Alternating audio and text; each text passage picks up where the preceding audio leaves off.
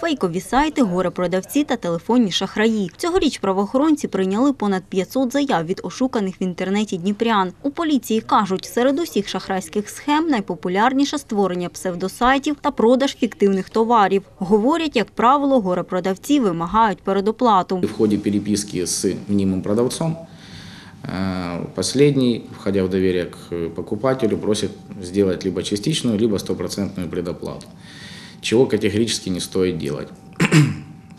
Есть у нас много служб доставки, которые доставляют товар наложенным платежом, лучше переплатить ну, довольно-таки небольшую сумму, но быть уверенным в том, что вы хотя бы получите хоть какой-то товар. За словами правоохоронців, серед жертв кібершахраїв не лише необачні підлітки чи пенсіонери. Також на гачок потрапляють працівники банків, представники поліції та засобів масової інформації. Олександра – журналіст за фахом. Розповідає, вона неодноразово чула про шахрайство в інтернеті та на власному досвіді переконалася, від цього ніхто не застрахований. Я сделала заказ в интернете вещи, которые шили индивидуально под меня. Я сразу же оплатила Ее, потому что ну, того требовали правила, скажем так, продавца.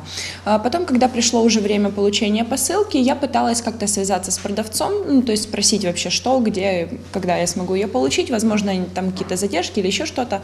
А, Вот. Но продавец просто перестал отвечать на мои сообщения. Правоохоронці кажуть, купуючи чи продаючи в інтернеті свої товари, в першу чергу варто звертати увагу на умови. Передавати комусь свої особисті дані категорично заборонено. Кроме номера карты, существует имя владельца, время и срок действия карты, CVV-код, три цифры указаны на обратной стороне карты, а также номер телефона, который к ней привязан.